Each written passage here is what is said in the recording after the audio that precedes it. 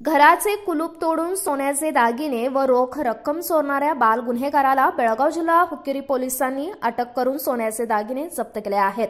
सात दिवसांपूर्वी हुक्केरी शहरातील सुधाकर नाईक यांच्या घरातून कोणीही नसताना सोन्याचे दागिने व रोख रक्कम चोरून नेल्याचा गुन्हा दाखल झाला होता.